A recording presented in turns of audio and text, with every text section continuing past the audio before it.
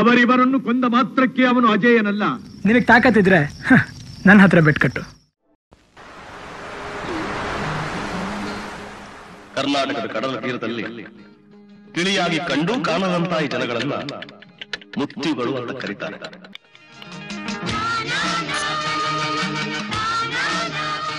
ಓದು ಬರಹ ತಿಳಿದೇ ಇರೋ ಈ ಮುತ್ತಿಗಳು ವಿದ್ಯೆ ವಿಜ್ಞಾನ ಅಂಕಿ ಅಕ್ಷರಗಳಿಂದ ದೂರ.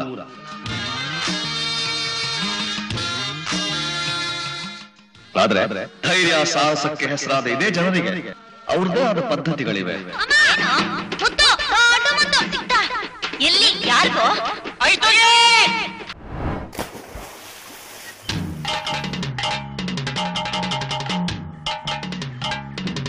ಅರೆ.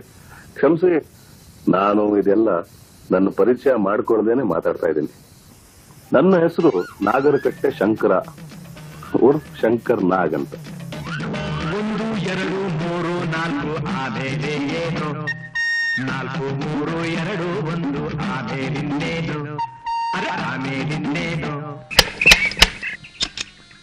ಯಾರ್ ನೀವು? ಏನ್ ಬೇಕಾಗಿತ್ತು? ನನ್ ಮಗಿಗೆ ಚೇಳು ಕಚ್ಚಿಬಿಟ್ಟಿದೆ ಜ್ಞಾನ ಹೊರಟು ಹೋಗಿದೆ ಔಷಧಿ ಬೇಕಾಗಿತ್ತು.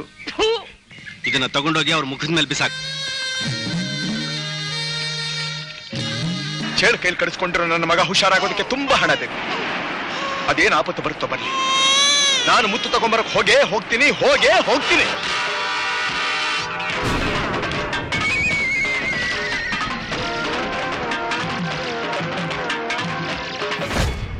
ನಿನ್ ಹತ್ರ ಇದೆಯಲ್ಲ ಮುತ್ತು ಅದೇ ನನಗ್ ಬೇಕು. ಮುತ್ತಿಗೆ ಬೆಲೆ ಉಂಟು ಈ ಕಾಗೆ ಮುತ್ತಿಗೆ ಬೆಲೆ ಇಲ್ಲ. ನಮಗೂ ಓದೊಬ್ಬರ ಬರಂಗಿದ್ದಿದ್ರೆ ನಮ್ಮನ್ ಯಾರು ಹೀಗೆ ಮೋಸ ಮಾಡಕ್ಕೆ ಆಗ್ತಿರ್ಲಿಲ್ಲ. ಎಲ್ಲ ಎಷ್ಟು ದಿನ?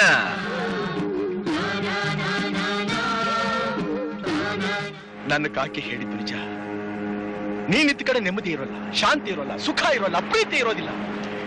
ಇಷ್ಟೊಂದು ಜನರ ಮನಸ್ಸನ್ನ ಕೆಡಿಸಿ ಸಾವನ್ ದವಡೆ ತಳ್ಳೋದಕ್ಕೋಸ್ಕರ ನೀನೇ ಭೂಮಿಗೆ ಬಂದ್ಯಾ? ನೀನ್ ನೀನಿರ್ಕೂಡುದು ನೀನ್ ಇರ್ಕೂಡುದು. ನಮ್ಮ ಹತ್ರ ಇರ್ಕೂಡುದು. ನೀನ್ ಎಲ್ಲಿಂದ ಬಂದ್ಯೋ ಅಲ್ಲಿಗೆ ಹೊರಟು ಹೋಗು.